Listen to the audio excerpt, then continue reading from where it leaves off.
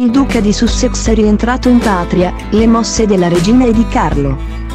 Los Angeles-Londra, 10 ore di volo.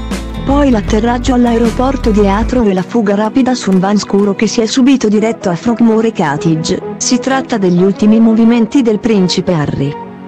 Immortalate dalla ricostruzione fotografica del Daily Mirror. Nella dimora storica città Home Park a Windsor. Il marito di Meghan Markle passerà 5 giorni, per scontare la quarantena. Nel rispetto delle norme anti-coronavirus vigenti nel Regno Unito. Secondo quanto riferisce il The Sun, Harry, una volta giunto a Frogmore Cottage, avrebbe ricevuto la visita a sorpresa di Sua Maestà, la regina Elisabetta I.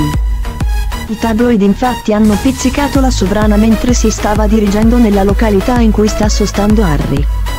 Non si sa se Elisabetta lo abbia già incontrato o meno, anche se le possibilità sono alte.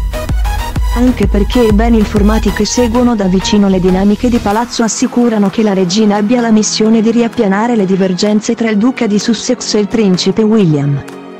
La monarca avrebbe una preoccupazione non da poco, un tarlo che la assilla in questi giorni. Naturalmente è a conoscenza che l'1 luglio i due fratelli dovranno presenziare all'inaugurazione della statua in ricordo di Lady Diana. Un'occasione di quello che avrebbe dovuto essere il sessantesimo compleanno della principessa triste. L'opera che sarà svelata nei prossimi giorni fu commissionata nel 2017 proprio da William e Harry. Certo quando iniziò il progetto a Buckingham Palace tirava tutt'altra aria. William e Harry avevano avuto l'idea di narrare quanto la loro madre avesse avuto un impatto positivo sul mondo e soprattutto andavano d'amore e d'accordo. La statua sarà posta a Sunken Garden, dentro Kensington Palace. Il numero di invitati sarà esiguo. Sempre nel rispetto delle misure anticontagio. Ma ci saranno le telecamere a riprendere l'evento.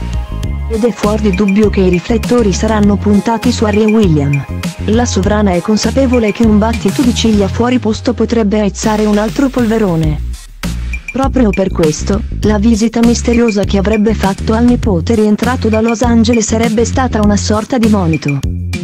Insomma, Elisabetta, a 95 anni, non ha alcuna voglia di affrontare l'ennesimo caso mediatico innescato dai nipoti e sta facendo di tutto affinché tutto vada per il verso giusto.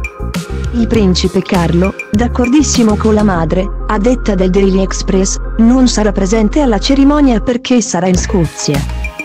La news, confermata dal The Sun, rivela anche un altro aspetto della vicenda.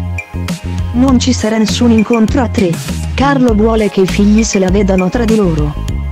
Scrive il tabloid. Il piano del principe del Galles è molto semplice, Harry e William devono essere isolati e se la devono vedere tra loro per risolvere i pesanti attriti che li attanagliano.